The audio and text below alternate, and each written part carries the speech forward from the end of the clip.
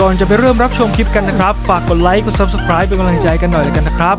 ขอแนะนำเพจ Inback เติมเกม รับเติมเกมถูกทะลุมิติ ถูกและคุ้มกว่าเติมเองอย่างแน่นอน และที่สำคัญนะครับสามารถเติมได้ทั้ง 2 ระบบไม่ว่าจะเป็น Android หรือ iOS ก็สามารถเติมได้เช่นกัน รวดเร็วและปลอดภัยมีใบเสร็จหลังการเติมร้านเปิดมานานกว่า 10 ปี จดทะเบียนถูกต้องตามกฎหมาย ใครสนใจสามารถทักไปได้เลยนะครับโอเคผมก็สวัสดีกันอีกรอบเลยกันนะครับ ยินดีต้อนรับสู่ Return Studio กันเหมือนเดิมทุกคนก็จะทำการอัปเดตข่าวสารของ eFootball 2024 โซนโมบายหรือฝั่งมือถือกันเหมือนเดิมนะครับ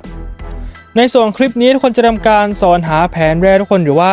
เป็นการรีวิวแผนแร่ทุกคนสอนหาแผนเด็ดแผนแร่แผนแปลกๆประจำสัปดาห์กันเหมือนเดิมนะครับก็เดี๋ยวมาดูเลยกันนะครับว่าแผนแร่ที่หลายคนถามหานะครับหรือว่าแผนที่จะแนะนำให้ในคลิปนี้นะครับย้ายไปอยู่ทีมไหนกันบ้าง หรือว่าย้ายไปอยู่สโมสรไหนกันบ้าง ก็เรามาทำการรับชมกันในคลิปนี้เลยแล้วกันนะครับ ก่อนรับชมคลิปกันก็มาทุกคนฝากกดไลค์กด Subscribe เป็นกำลังใจให้กันเหมือนเดิมนะครับ อย่าลืมกดกระดิ่งแจ้งเตือนไว้ด้วยเลยกันนะครับ เพื่อจะได้ไม่พลาดข่าวสารทุกคนก็เรามาเริ่ม รับชมกันเลยแล้วกันนะครับก็ก่อนอื่นนะครับอันนี้ก็เป็นการอธิบายเหมือนเดิมทุกคนเน้นย้ำอีกทีแล้วกันนะครับว่าแผนแรกที่หลายคนถามหานะครับไม่ว่าจะเป็นแผนของ 4 2 4พลหรือว่า 4 1 1 4 นะครับวันนี้ก็ยังไม่กลับเข้ามาเช่นเคยนะครับถึงแม้ว่าเคยมีปารีสแซงต์แชร์แมงทุกคนเคยใช้มาแล้วนะครับแต่ว่าก็ยังไม่กลับเข้ามาในเกมเลยนะครับวันนี้ก็ ต้องรอดูกันต่อไปแล้วกันนะครับว่ามันจะกลับเข้ามาเมื่อไหร่นะครับสำหรับแผนของ 424 และก็ 4114 นะครับเช่นเดียวกันกับแผนนี้ทุกคนหรือว่าแผนของ 4132 ที่มี EMF 3 ตัวนะครับวันนี้ก็ยังไม่กลับเข้ามาเช่นกันครับทุกคนก็ต้องรอดูกันต่อไปแล้วกันนะครับว่ามันจะกลับเข้ามาเมื่อไหร่นะครับประมาณนี้แล้วกันนะครับสำหรับการแนะนำเบื้องต้นคนเรามาดูในส่วนของแผนที่จะทำการรีวิว และก็แนะนำให้ในคลิปนี้บ้างแล้วกันนะครับนี่ทุกคนมาเริ่มที่เปลี่ยน game plan กันก่อนเลยแล้วกันนะครับ สำหรับแผนแรกคนมาที่การเปลี่ยนทีมกันก่อนเลยแล้วกันนะครับทุกคนก็มาที่ทางฝั่งของ ในคนการเปลี่ยนทีมนะครับแล้วก็มาที่เอเชียทุกคนเลยก็ Hilux Revo ไทยลีกนะครับจากนั้นก็เลื่อนลงมาด้านล่างคนไปที่สโมสรของราชบุรี FC นะครับประมาณนี้คนไม่ได้ทีมเสร็จแล้วก็กลับมาคนกดไปที่โค้ชนะครับเปลี่ยนแผนและ default ทุกคนก็คือมีหน้าตามาประมาณนี้เลยนะครับเป็นแผนของ 4-2-2-2 ที่ยืนกันแปลกมาก ๆเลยนะครับ ก็ขออนุญาตปรับให้ตรงตามตำแหน่งกันก่อนเลยเลยกันนะครับสำหรับแผนนี้ก็คือ ภาคที่แล้วนะครับเคยเป็นแผนแรกของเรอัลมาดริดทุกคนเพราะว่าเป็นแผนที่ไม่มีกองหน้าตัวเป้านะครับทุกคนหรือว่าคล้ายๆ กับแผนของเฟลนายอะไรประมาณนี้นะครับก็ขออนุญาตปรับให้ตรงตามตำแหน่งก่อนเลยเลยกันนะครับ ทุกคนก็คือมีหน้าตามาประมาณนี้เลยนะครับก็เป็นแผนของ 4-2-2-2ทุกคนมี center back 2ตัวครับคนแบ็กซ้ายแบ็กขวานะครับกองกลาง 2 ตัวสามารถปรับได้ทั้ง CMF และก็ DMF เลยนะครับต่อด้วย กองกลางตัวรุก 2 ตัวทุกคนปีกซ้ายและปีกขวานั่นเองนะครับก็คือไม่มีกองหน้าตัวเป้านะครับและก็หน้าต่ำก็ไม่มีนั่นเองนะครับก็ใครชอบแผนนี้ก็อย่าลืมไปหามาลองเล่นกันได้เลยนะครับสำหรับแผนของ 4222 จากราชบุรี FC นะครับเรามาดูแผนต่อไปกันเลยแล้วกันทุกคนมาที่การเปลี่ยนทีมกันเหมือนเดิมนะครับก็รอบนี้ครับคนมาที่ทางฝั่งของยุโรปก็ทุกคนเลยก็มาที่ลาลิก้าสเปน division 2นะครับจากนั้นก็เลื่อนลงมาที่ Levante FC ครับทุกคนนี่ครับคนเลบันเต้ RA นะครับมาที่ทีมเสร็จแล้วก็มาทุกคนไปที่โค้ชนะครับ เปลี่ยนแผนและ default ก็คือมีหน้าตามาประมาณนี้เลยนะครับ เป็นแผนของ 4132 นะครับสำหรับอันนี้ก็คือ เป็นแผนที่พอจะทดแทน 4114 ได้นิดนึงนะครับ เพราะว่าถ้า 4114 นะครับคนมันจะเป็นปีกสูงซ้ายขวานะครับแต่ว่านี่จะเป็นปีกต่ำซ้ายขวานะครับก็ใครชอบไปหามาลองนี่กันได้เลยนะครับ เป็นแผนของ 4132คนมี center back 2ตัวคนแบ็กซ้ายแบ็กขวานะครับกองกลางตัวรับ 1 ตัวคนกลางตัวรุก 1 ตัวนะครับ wing back ฝั่งซ้าย wing back ฝั่งขวาเลยก็ปิดท้ายด้วยกองหน้าตัวเป้าอีก 2 ตัวนะครับก็ใครชอบไปหามาลองเล่นกันได้เลยนะครับไปดูต่อแบบไวๆทุกคนมาในการเปลี่ยนทีมกันเหมือนเดิมนะครับก็รอบนี้นะครับไปที่ทางฝั่งของยุโรปเหมือนเดิมนะครับแล้วก็ไปที่ลาลิกาสเปนนะครับเมื่อกี้ไป 2 อันนี้ก็ไปลาลิกาสเปนอันแรกนะครับมาที่ทางฝั่งของเรอัลมาดริดกันทุกคนนี่เลยนะครับ จากนั้นก็ไปที่โค้ดทุกคนเปลี่ยนแผนและเดฟอลต์นะครับ คือมีหน้าตามาประมาณนี้เลยครับ เป็นแผนของ 4222 นะครับนี่ครับทุกคนก็ปรับให้ตรงตามตำแหน่งก่อนเลยแล้วกันนะครับ เป็นแผนที่น่าสนใจเช่นกันนะครับทุกคนเพราะว่ามี AF 2 ตัวเลยนะครับ เป็นแผนของ 4222 นะครับ แบ่งออกเป็น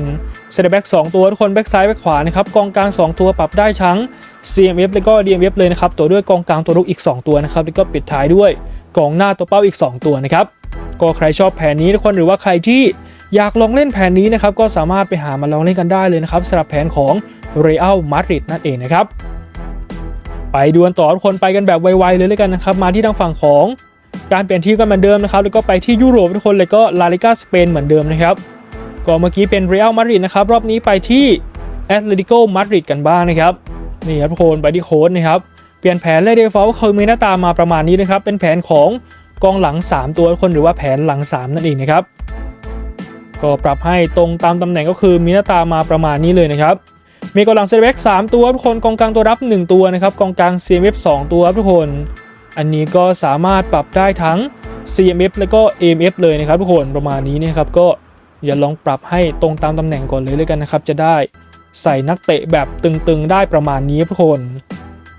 มีกองกลางตัวรับ 1 ตัวนะคนกองกลางตัวรุกสามารถปรับได้ทั้ง CMF แล้วก็ AMF เลยนะครับต่อด้วย wing back ฝั่งซ้าย wing back ฝั่งขวาแล้วก็กองหน้าตัวเป้าอีก 2 ตัวนะครับก็ใครชอบไปหามาลองเล่นกันได้เลยนะครับสำหรับแผนของ 3-2-3-2 นั่นเองนะครับจากแอตเลติโกมาดริดนั่นเองนะครับทุกคนไปดูต่อทุกคนมาที่การเปลี่ยนทีมกันเหมือนเดิมนะครับก็รอบนี้นะครับแถมให้อีกทีมแล้วกันนะครับสำหรับ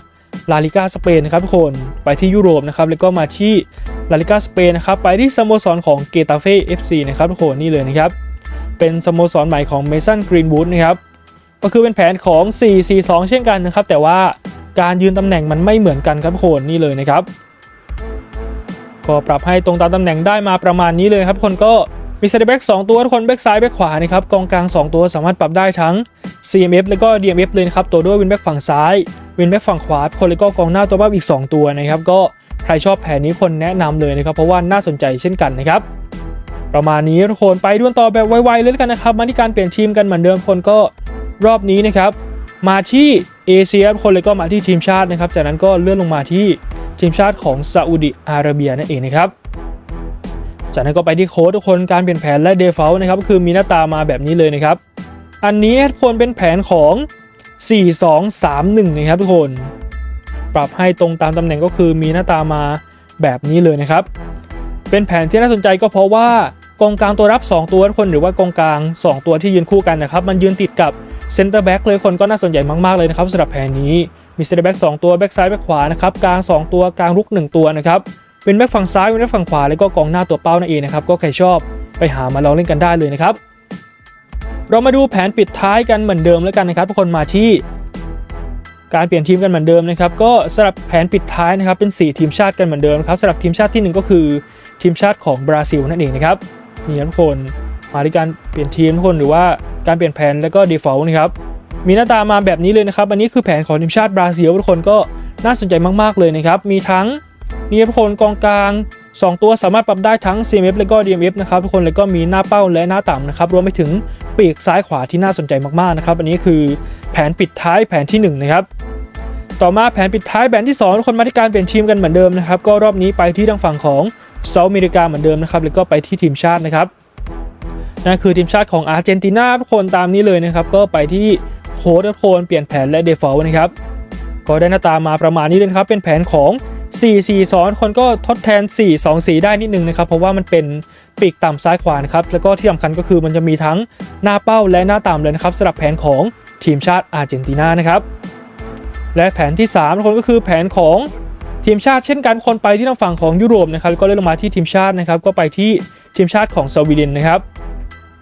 จากนั้นก็ไปที่โค้ดทุกคนเปลี่ยนแผนและเดฟอลต์นะครับคนคือมีหน้าตามาแบบนี้เลยนะครับซึ่งมันคล้ายกับแผนเมื่อกี้มากๆนะครับแต่ว่า มันแปลกหรือว่าแตกต่างตรงที่กองหน้าตัวเป้านะครับ เมื่อกี้มันจะเป็นหน้าเป้าเลยหน้าต่ำนะครับ แต่ว่าอันนี้คือจะเป็นหน้าเป้าทั้งคู่เลยนั่นเองนะครับสำหรับแผนของทีมชาติสวีเดนนะครับ และแผนสุดท้ายก็คือเป็นแผนของทีมชาติเช่นกันทุกคนเป็นแผนที่มาทำการปิดท้ายให้ทุกคลิปอยู่แล้วนะครับ ไปที่ยุโรปทุกคนเลยก็ทีมชาตินะครับนั่นก็คือทีมชาติของฝรั่งเศสนั่นเองนะครับก็ไปที่โค้ชทุกคนเปลี่ยนแผนเลย default นะครับอันนี้ก็คล้ายๆกับ แผนของทีมชาติบราซิลเมื่อกี้นะครับแต่ว่าตรงกลางมันยืนติดกับกองหลังเซนเตอร์แบ็กมากกว่านี่นะครับอันนี้ก็ประมาณนี้แล้วกันนะครับ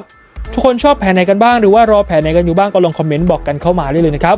หากผิดพลาดประการไหนต้องขออภัยไว้ทุกคนไว้เจอกันใหม่ในคลิปหน้านะครับคลิปนี้ขอตัวลาไปก่อนสวัสดี